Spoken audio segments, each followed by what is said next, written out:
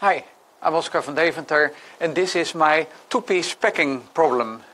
I designed this uh, puzzle in the 1980s. Uh, actually, I can't find the original uh, design drawing, so I'm not sure about the exact design date.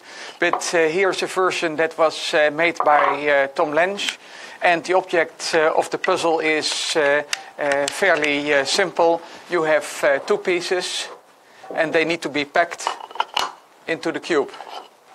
And as you can see inside, uh, there's a little uh, uh part there. So when putting it together, well, this piece is easily packed. And the other piece, well, how do we get it in? Um, let me see whether I still remember the sequence. Yeah, you put it in, and then it goes up and down, and down and up, etc. And it fits. So uh, recently, uh, Ross Feinstein, a fan of this type of puzzle, asked uh, for a 3D printed version, and the reason uh, is that yeah, the wooden version is no longer available.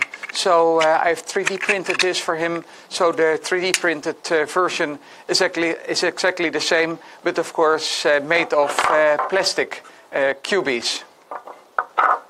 So when I designed this, my design challenge was what is the uh, most moves that I can make in a 4x4 cube. So um, the most moves that are needed to remove the first piece. Well, there is only one first piece, but okay, let's count. One, two, three, four, five, six, seven, eight, nine. So this is nine moves. Uh, I don't think this is the optimum because, uh, yeah, um, I designed it just by hand and computers can probably design it better.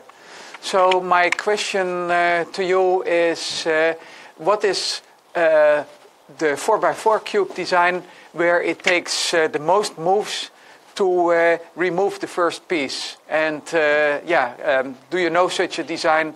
can you make such a design? Thank you for watching.